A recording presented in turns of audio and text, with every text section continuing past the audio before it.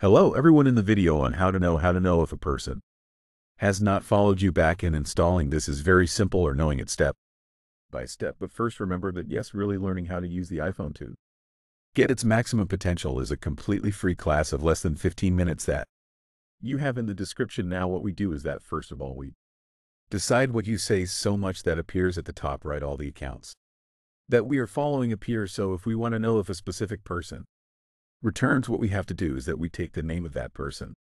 For example, this account here, we go to the followers section and in the crazy search mass and that account appears, it means that they have followed you another way.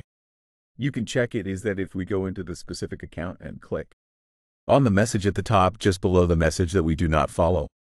Both of us avoid this. This has been all. Thank you for watching this video. And also remember that if you need any type of accessory for 4 plus board, a hoodie screen Olympics case, buy it by taking advantage of our free shipping worldwide. And the YouTube discount code is exclusive only for people who watch our video. You have the link 11 store at the address. Thank you and see you in the next one.